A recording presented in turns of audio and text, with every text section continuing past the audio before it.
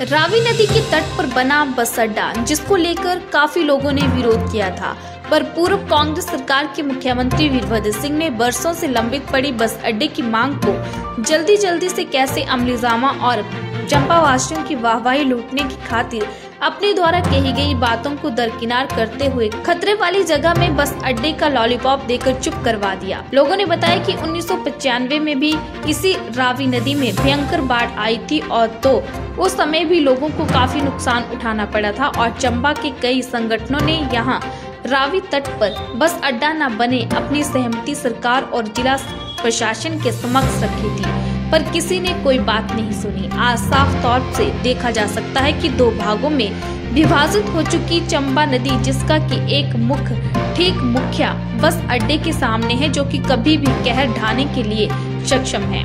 लोगों का कहना है कि वैसे ही ये बस अड्डा डेंजर जोन में बना हुआ है। इन्होंने पूर्व सरकार की उस घोषणा पर भी सवालिया निशान लगाते हुए कहा कि एक तरफ़ सरकार खुद नदी नालों के समीप कोई भी सरकारी भवन नहीं बनाने की बात करती है तो वहीं दूसरी तरफ़ खुद ही इसका उल्लंघन भी करती है। लोग इस बस अड्डे को यहाँ से शिफ्ट कर सुरक्षित जगह बनाने की मांग कर रहे हैं। मैं स्थानीय निवासी चंबा का दीपक भाटिया हूँ वैसे। पर जिस तरह से चंबा में ये बस स्टैंड बना है, पहले तो इसकी जगह ही बड़ी निर्धारित जो की हुई है, बहुत गलत है।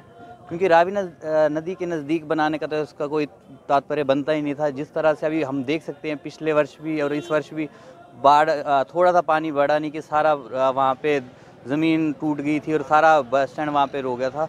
तो एक तरह से जहाँ से बाज़ार वालों को भी इसका काफ़ी नुकसान हुआ, इतना नीचे जाने से और आम, ये भी किसी किसी भी वक्त एक दुर्घटना का शिकार हो सकता है ये बस स्टैंड। इतने लोग वहाँ पे आते हैं और किसी भी टाइम अंदर से देखा जाए तो ज़मीन पूरी तरह से धस चुकी हुई है और किसी टाइम ये बड़ा एक हादसा हो जाए तो ये एक बहुत बड़ा गंभीर विषय एक चंबा वालों के लिए बना हुआ है। इस पर सरकार संज्ञान ले, हम यही एक आशा करते हैं। इसी वर्ष बरसात के दिनों में आई इस भयंकर बाढ़ का ऐसा रौद्र रूप देखकर जिला प्रशासन के हाथ पाँव तो ज़रूर फूले थे। डीसी चंबा विवेक भाटिया ने उस दिए गए अपने इंटरव्यू में बताया था कि जिस जगह पर यह बस अड्डा बना हुआ है उस जगह पर रावी नदी का बहाव बहुत ज़्यादा है।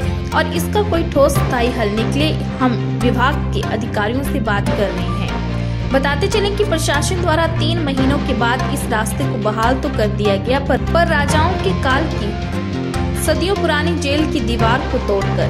पर देखने वाली बात यह है कि दीवार तोड़ने के बाद ये बस अड्डा क्या सुरक्षित है जो है वो फ़ूड ऑल्टरनेटिव रूट जिनकी वर्कशॉप के पास है वहाँ से उसको हमने किया है। सर ये पहले भी थी? इसका आज हमने एक्शन साहब से एन एच डिवीज़न से बात की है क्योंकि बार बार वॉश हो रहा है यहाँ पे थोड़ा सा क्योंकि नदी का बहाव थोड़ा ज़्यादा है। और आमतौर पे बरसात की स्थिति में ये दिक्कतें मुझे बताया गया कि पहले भी आ रही हैं। तो इसका स्थायी और एक ठोस कोई समाधान जो है उसके लिए हमने आज डायरेक्ट किया है।